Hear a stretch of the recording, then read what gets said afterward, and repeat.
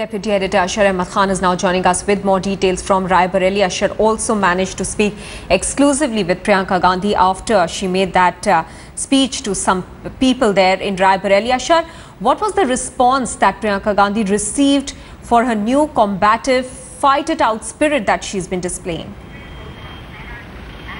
Well, as uh, Raebareli is the family bastion of uh, the Nehru Gandhi family, so clearly there was a lot of response as far as this statement was concerned.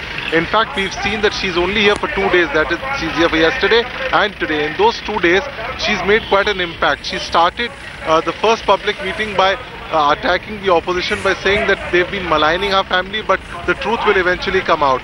And today she did not do anything uh, controversial on the first uh, public meeting, but by the third public meeting, she went all out and uh, categorically said that uh, it was uh, if, if women's development is an issue, then why is our people listening to telephones of ladies in closed rooms?